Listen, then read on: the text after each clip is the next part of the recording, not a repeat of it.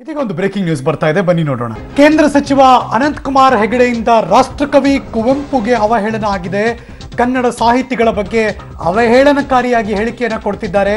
ಏಕೆಂದರೆ ಮೊನ್ಮೊನ್ನೆ ಅಷ್ಟೇ ಬೆಳಗಾವಿಯಲ್ಲಿ ಕೌಶಲ್ಯ ತರಬೇತಿಯನ್ನು ಉದ್ಘಾಟನೆ ಮಾಡಿ ಮಾತಾಡ್ತಿರ್ಬೇಕಾದ್ರೂ ಕೂಡ ಅನಂತಕುಮಾರ್ ಹೆಗಡೆ ಅವರು ಮಾತಾಡ್ತಿದ್ರು.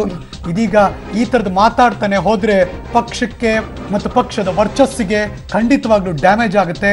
ಇದಕ್ಕೊಂದು ಕಡಿವಾಣ ಹಾಕಬೇಕು ಅಂತ ಭಾರತೀಯ ಜನತಾ ಪಕ್ಷದ ಯುವ ಮೋರ್ಚಾ ಉಪಾಧ್ಯಕ್ಷ ಭೀಮಾಶಂಕರ್ ಪಾಟೀಲ್, ಇದೀಗ ಭಾರತೀಯ ಜನತಾ ಪಕ್ಷದ ರಾಜ್ಯಾಧ್ಯಕ್ಷ, ಮಾಜಿ ಮುಖ್ಯಮಂತ್ರಿ ಬಿ ಎಸ್ ಯಡಿಯೂರಪ್ಪನವರಿಗೆ ಪತ್ರ ಬರೆದಿದ್ದಾರಂತೆ. ಇದೀಗ ಬರ್ತಿರುವಂತಹ ಬ್ರೇಕಿಂಗ್ ನ್ಯೂಸ್ ನೀವು ನೋಡ್ತಿರುವಂತಹ ಬ್ರೇಕಿಂಗ್ ನ್ಯೂಸ್ ಸಾಹಿತಿಗಳ ಬಗ್ಗೆ ಮಾತಾಡ್ತಿದ್ದಾರೆ. ಇದು ಪಕ್ಷಕ್ಕೆ ಡ್ಯಾಮೇಜ್ ಆಗುತ್ತೆ. ಇದಕ್ಕೊಂದು ಕಡಿವಾಣ ಬೀಳಬೇಕು ಅನ್ನುವ ಮಾತನ್ನ ರೈಸ್ ಮಾಡಿದ್ದಾರೆ ಬಿಜೆಪಿಯ ಯುವ ಮೋರ್ಚಾ ಉಪಾಧ್ಯಕ್ಷ ಭೀಮಾಶಂಕರ್ ಪಾಟೀಲ್ರು.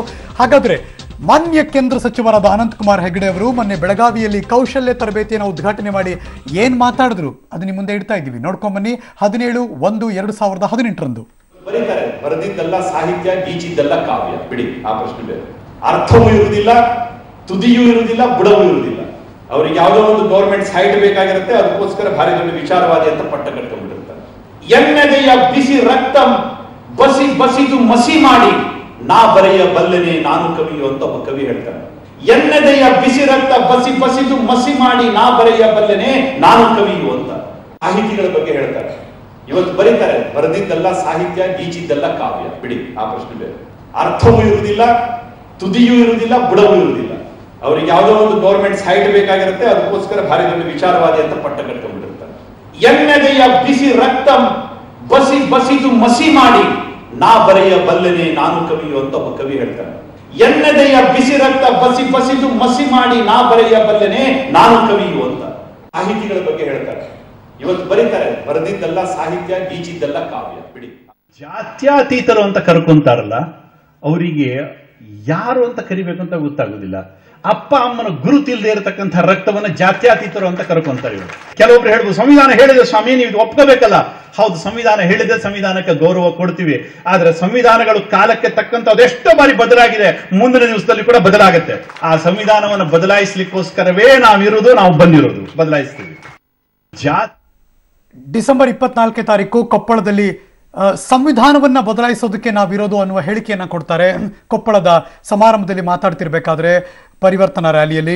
ಅದಾದ ನಂತರ ಹೊಸ ವರ್ಷ ದಿನಾಂಕ ಹದಿನೇಳು, ಜನವರಿ ಎರಡು ಸಾವಿರದ ಹದಿನೆಂಟು ಬೆಳಗಾವಿಯಲ್ಲಿ ಕೌಶಲ್ಯ ತರಬೇತಿ ಉದ್ಘಾಟನೆಯನ್ನು ಮಾಡಿದ ನಂತರ ಕೇಂದ್ರ ಸಚಿವರಾದಂಥ ಅನಂತಕುಮಾರ್ ಹೆಗಡೆ ಅವರು ಸಾಹಿತಿಗಳ ವಿರುದ್ಧ ಅವಹೇಳನಕಾರಿಯಾಗಿ ಮಾತಾಡ್ತಾರೆ. ಇದು ತುಂಬ ಜನರಿಗೆ ಸಹಿಸಲು ಅಸಾಧ್ಯ ಹಾಗಾಗಿ ಅದನ್ನು ಕೂಡ ವಿರೋಧ ವ್ಯಕ್ತವಾಗುತ್ತೆ. ಪರಾನು ಕೂಡ ವ್ಯಕ್ತವಾಗಿದೆ. ಅದು ಇನ್ನೊಂದು ಭಾಗದಲ್ಲೂ ಕೂಡ ಹೌದು. ಆದರೆ ಈಗ ಭಾರತೀಯ ಜನತಾ ಪಕ್ಷದ ಯುವ ಮೋರ್ಚಾ ಉಪಾಧ್ಯಕ್ಷ ಭೀಮಾಶಂಕರ್ ಪಾಟೀಲ್ರು, ಮಾನ್ಯ ಉಪ ಮಾಜಿ ಮುಖ್ಯಮಂತ್ರಿ ಮತ್ತು ಬಿ ಜೆ ಪಿಯ ರಾಜ್ಯಾಧ್ಯಕ್ಷರಾದ ಬಿ ಎಸ್ ಯಡಿಯೂರಪ್ಪನವರಿಗೆ ಪತ್ರವನ್ನು ಕೂಡ ಬರೀತಾರೆ. ಇದೀಗ ಇವತ್ತು ಕೂಡ ಸಂವಿಧಾನ ಸಾಹಿತ್ಯದ ಬಗ್ಗೆ ಮಾತನಾಡಿದ್ದಾಯಿತು. ಈಗ ಇತಿಹಾಸದ ಸರದಿ ಅಂತ ಅನಿಸ್ತಾ ಇದೆ. ನಾವು ಓದ್ತಿರುವಂಥ ಇತಿಹಾಸವೇ ಸುಳ್ಳು. ನಮ್ಮ ದೇಶವನ್ನು ಕಟ್ಟಿದ್ದು ರಾಜ ಮಹಾರಾಜರಲ್ಲ. ಬ್ರಿಟಿಷ್ ಮನಸ್ಥಿತಿಯ ಇತಿಹಾಸಕಾರರು ಸುಳ್ಳು ಬರೆದಿದ್ದಾರೆ. ನಾವು ಸುಳ್ಳು ಇತಿಹಾಸವನ್ನು ಓದ್ತಾ ಇದ್ದೀವಿ. ಭಾರತದದ್ದು ಕಾವಿ ಬಟ್ಟೆಯ ಇತಿಹಾಸ.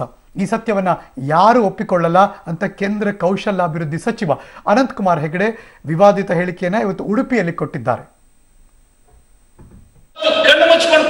ಕುಳಿತುಕೊಂಡಿರ್ತಕ್ಕಂತಹ ಧೃತರಾಷ್ಟ್ರ ಇದ್ದ, ಇವತ್ತು ಇಂಥ ಹೇಡಿಗಳಿಂದ, ನಾಸ್ತಿಕರಿಂದ ತುಂಬಿರತಕ್ಕಂತಹ ಪರಿಸ್ಥಿತಿಯನ್ನ ನೋಡಿದಾಗ ರಾಷ್ಟ್ರ ಧೃತ ಅಂತ ಅನ್ಸೋದಿಲ್ವಾ ಎಲ್ಲೋ ಒಂದ್ ಕಡೆ ಒಬ್ಬ ಮಹಾಪುರುಷ ಎದ್ದು ಕುತ್ಕೊಂಡಿದ್ದಾನಲ್ಲಿ, ಇದನ್ನು ಬದಲಾಯಿಸ್ತೀನಿ ಅಂತ. ಆದ್ರೆ ಇಡೀ ದೇಶದ ವಿಶ್ವಾಸ ಧೃತ ರಾಷ್ಟ್ರ ನಮ್ಮ ಜೊತೆ ದೂರವಾಣಿ ಸಂಪರ್ಕದಲ್ಲಿ ಭಾರತೀಯ ಜನತಾ ಪಕ್ಷದ ಯುವ ಮೋರ್ಚಾ ಉಪಾಧ್ಯಕ್ಷರಾದ ಸನ್ಮಾನ್ಯ ಭೀಮಾಶಂಕರ್ ಪಾಟೀಲ್ ದೂರವಾಣಿ ಸಂಪರ್ಕದಲ್ಲಿದ್ದಾರೆ. ನಮಸ್ಕಾರ ಭೀಮಾಶಂಕರ್ ಪಾಟೀಲ್ ರೇ. ಸರ್ ನಮಸ್ತೆ ಸರ್ ಸರ್. ನಿಮ್ಗೆ ಯಾಕೆ ಬೇಜಾರಾಯ್ತು? ಸರ್ ಅಂದ್ರೆ ನಾನು ಕನ್ನಡ ಹೋರಾಟದ ಮೂಲದಿಂದ ಬಂದಂತವನು ಕನ್ನಡ ಚಳವಳಿ ಆಯಾಮಗಳನ್ನ ತುಂಬಾ ಹತ್ತಿರದಿಂದ ಬಲ್ಲಂತವನು ಆಮೇಲೆ ಕನ್ನಡ ಸಾಹಿತ್ಯ ಚರಿತ್ರೆಯನ್ನ ಓದ್ಕೊಂಡಂತವನು ಆಮೇಲೆ ಕರ್ನಾಟಕ ಎಲ್ಲಕ್ಕಿಂತ ಮುಖ್ಯವಾಗಿ ನಾನೊಂದು ಕರ್ನಾಟಕದ ಪಕ್ಷದಲ್ಲಿ ಕೆಲಸ ಮಾಡ್ತಾ ಇದ್ದೀನಲ್ಲ ಆದ್ರೂ ಕನ್ನಡ ನಾಡು ನುಡಿ ವಿಚಾರಕ್ಕೆ ಸಂಬಂಧಪಟ್ಟಂತೆ ಬೇಕಾಬಿಟ್ಟಿಯಾದಂತ ಈ ಹೇಳಿಕೆಗಳು ಮಾತುಗಳು ಆಗ್ತಾ ಇದಾವಲ್ಲ ಅಂತ ತುಂಬಾ ನೋವಾಯ್ತು. ಮತ್ತೆ ಎಲ್ಲಕ್ಕಿಂತಲೂ ನೋವಾದಂತ ವಿಚಾರ ಏನಂದ್ರೆ ವೀರರಾಣಿ ಚೆನ್ನಮ್ಮ ಮತ್ತು ಒನಕೆ ಒಬ್ಬವ. ವಿಚಾರದಲ್ಲಿ ಪೋಸ್ಟ್ ಮಾಡಿದಂತ ಪೋಸ್ಟ್ ಕಾರ್ಡ್ನ ಒಂದು ಇದು ಏನಿದೆ ಸಾಮಾಜಿಕ ಜಾಲತಾಣದ ಅಕೌಂಟ್ ಇದೆಯಲ್ಲ ಅದು ನಮ್ಮ ಪಕ್ಷದಲ್ಲೇ ಕೆಲಸ ಮಾಡಂತ ಮುಟ್ಟಾಳ್ರೋದನ್ನ ತಯಾರು ಮಾಡಿ ಅದ್ರ ಮುಖಾಂತರ ಚೆನ್ನಮ್ಮಗೆ ಮತ್ತು ಓಬೋಗೆ ಅಪಮಾನ ಮಾಡುವಂತ ಕೆಲಸ ಮಾಡಿದ್ರು. ಯಾಕೆ ನಡೀತಿದೆ ಈ ತರ ವಿಮರ್ಶೆ ಅಲ್ಲ? ಅದನ್ನೇ ನಾನು ಅದನ್ನೇ ನಾನು ಇವತ್ತು ನನಗೇನಾಗ್ತಾ ಇದೆ ಅಂದ್ರೆ ಇವ್ರು ಯಾವ್ದ್ಯಾವ್ದೋ ಮೂಲಗಳಿಂದ ಎಲ್ಲಿಂದಲೋ ಬಂದು ಕನ್ನಡಕ್ಕೆ ಅಪಮಾನ ಮಾಡಿ ತಮ್ಮ ಬೆಳೆಯನ್ನ ಬೇಯಿಸ್ಕೊಂಡು ಕನ್ನಡಕ್ಕೆ ಅಪಮಾನ ಮಾಡಂತ ವಿಚಾರ ಇದೆಯಲ್ಲ ಇದು ಯಾಕೋ ಸರಿ ಅನಿಸ್ತಾ ಇಲ್ಲ. ಭಾರತೀಯ ಜನತಾ ಪಕ್ಷಕ್ಕೆ ಕರ್ನಾಟಕದಲ್ಲಿ ಇರ್ತಕ್ಕಂತ ಕನ್ನಡಿಗರು ಮತ ಹಾಕ್ತಾರೆ ಬಿಟ್ರೆ ಬೇರೆ ಎಲ್ಲರೂ ಬಂದು ಇಲ್ಲಿ ಮತ ಹಾಕುವಂತ ಪ್ರಶ್ನೆ ಬರಲ್ಲ. ಕನ್ನಡ ನಾಡು ನುಡಿ ಗಡಿಗಾಗಿ ಇವರು ಪಕ್ಷಗಳ ಪಕ್ಷ ಆಗಿದ್ರು ಅವ್ರ ಪಕ್ಷದ ಸಿದ್ಧಾಂತವನ್ನ ಇಟ್ಕೊಂಡು ಇಟ್ಕೊಂಡು ಕನ್ನಡವನ್ನ ಗೌರವಿಸುವಂತ ಕೆಲಸ ನಡಿಬೇಕಾದ ಯಾವುದೇ ಪಕ್ಷ ಇರಲಿ. ಈಗ ನಮ್ಮ ಭಾರತೀಯ ಜನತಾ ಪಕ್ಷದಲ್ಲೂ ಸಹ ಅಷ್ಟೇ. ಯಾಕಂದ್ರೆ ನನಗೆ ಕನ್ನಡ ಚಳುವಳಿಯಿಂದ ಬಂದವನಾಗಿದ್ದಾರೆ ಬಂದವನಾಗಿದ್ದರಿಂದ ಭೀಮಾಶಂಕರ್ ಪಾಟೀಲ್ ಏನ್ ಮಾನ್ಯ ಸಚಿವರು ಈ ತರ ಮಾತಾಡ್ತಿದ್ದಾರೆ? ಇದು ಪಕ್ಷದ ಚೌಕಟ್ಟಿನ ನಿಲುವಿಗಿಂತ ಆಚೆ ಇದೆ ಇದು ವೈಯಕ್ತಿಕವಾಗಿ ಅವ್ರು ಈ ತರ ಮಾತಾಡ್ತಿದ್ದಾರೆ ಅದು ಅದು ಧಕ್ಕೆ ಬರುತ್ತೆ ಪಕ್ಷಕ್ಕೆ ಅಂತಾರ? ಅಲ್ಲ ನಾನು ಅನಂತ್ ಕುಮಾರ್ ಹೆಗಡೆ ಅವರಿಗೆ ಉಪದೇಶ ಹೇಳುವಷ್ಟು ದೊಡ್ಡ ವ್ಯಕ್ತಿನೂ ನಾನಲ್ಲ ಮತ್ತೆ ಪಕ್ಷದಲ್ಲೂ ಸಹ ಹುದ್ದೆಯಲ್ಲೂ ಸಹ ಅವ್ರ ಅವರಷ್ಟು ದೊಡ್ಡ ಎತ್ತರದಲ್ಲಿ ಇರುವಂತ ವ್ಯಕ್ತಿನೂ ನಾನಲ್ಲ. ಆದ್ರೆ ಒಬ್ಬ ಜನಸಾಮಾನ್ಯನಾಗಿ ಸಾಮ ಸ್ವಾಭಿಮಾನಿ ಕನ್ನಡಿಗನಾಗಿ ಪಕ್ಷದ ನಿಷ್ಠಾವಂತ ಪ್ರಾಮಾಣಿಕ ಕಾರ್ಯಕರ್ತನಾಗಿ ನಾನು ಇವತ್ತು ಏನ್ ಹೇಳಕ್ ಬಯಸ್ತಾ ಇದ್ದೀನಿ ಅಂತಂದ್ರೆ ಅನಂತ್ ಕುಮಾರ್ ಹೆಗಡೆ ಅವರು. ಯಾವುದೋ ಒಂದು ವಿಚಾರಕ್ಕೆ ಕನ್ನಡ ಸಾಹಿತ್ಯವನ್ನ ಸಾಹಿತ್ಯ ಲೋಕದ ಸಾಹಿತ್ಯ ಲೋಕದಲ್ಲಿ ದುಡಿದಂತವ್ರನ್ನ ಎಲ್ಲಕ್ಕೂ ಮಿಗಿಲಾಗಿ ರಾಷ್ಟ್ರಕವಿ ಕುವೆಂಪು ಅವರ ವಿಶ್ವಮಾನವ ಸಂದೇಶವನ್ನ ದನಕ್ಕೆ ಹೋಲಿಸಿ ಹೇಳುವಂತದಿದೆಯಲ್ಲ ಇದು ತುಂಬಾ ನೋವಿನ ವಿಚಾರ ಯಾವುದೇ ಕಾರಣಕ್ಕೂ ಎಂತ ಪ್ರಬುದ್ಧತೆಯಿಂದ ಇದ್ದಂತ ವ್ಯಕ್ತಿ ಆಗಿರ್ಲಿ ಆ ಪ್ರಬುದ್ಧತೆ ಇದ್ದ- ಇದ್ದಂತ ವ್ಯಕ್ತಿ ಆಗಿರ್ಲಿ ಅವನ್ ಬಾಯಲ್ಲಿ ಇಂತ ಮಾತುಗಳು ಬರಬಾರದು ಭೀಮಶಂಕರ್ ಪಾಟೀಲ್ ರೇ ಹಲವಾರು ಟ್ವೀಟ್ ಗಳನ್ನ ರಿಪ್ಲೈಗಳನ್ನ ಓದ್ತಿದ್ದೆ ನಾನು. ಯಾರೊಬ್ರು ರಿಪ್ಲೈ ಕೊಟ್ಟಿದ್ದಾರೆ. ನಿಮ್ಗೆ ಹೇಳ್ಬಿಡ್ತೀನಿ ನಿಮ್ ನಿಮ್ ರಿಯಾಕ್ಷನ್ ಕೊಡಿ ಅದಕ್ಕೆ. ಯಾರೊಬ್ರು ಹೇಳ್ತಿದ್ರು ಅನಂತ್ ಕುಮಾರ್ ಹೆಗಡೆ ಅವರು ಇದ್ದದಿದ್ದಂಗೆ ಸತ್ಯ ಹೇಳ್ತಿದ್ದಾರೆ. ಅದನ್ನ ಅರ್ಗಿಸ್ಕೊಳಕ್ಕಾಗಲ್ಲ ತುಂಬಾ ಜನಕ್ಕೆ ಅಂತಿದ್ರು. ಅದಕ್ಕೆ ನಿಮ್ ರಿಪ್ಲೈ ಏನು?